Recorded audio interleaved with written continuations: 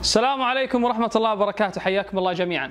شفت فيديو لأحد المدرسين سألوه عن الفرق بين هاوس وهوم.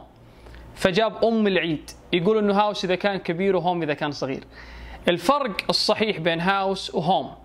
هاوس تتكلم عن البيلدينج البناء الشكل. يعني هو هاوس. It's not a school it's not a hospital. يعني ما هو مدرسة ولا هو مشفى هو منزل. هو كبناء هو منزل. لما أتكلم عن البناء أقول هاوس. لكن إذا كنت أتكلم عن الحياة داخل البيت أتكلم عن الأسرة أتكلم من عودتي من الدوام إلى البيت اللي أرتاح فيه وأعيش فيه فأقول هنا إيش؟ home. لذلك لما أقول he's painting his يعني هو يدهن ما راح أقول he's painting his home أقول he's painting his house. هو قاعد يدهن المنزل من حيث البناء.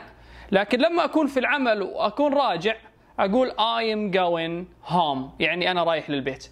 المثال الأروع اللي يبين الفرق بينهم حكمة رائعة تقول It's not how big the house is but it's how happy the home is.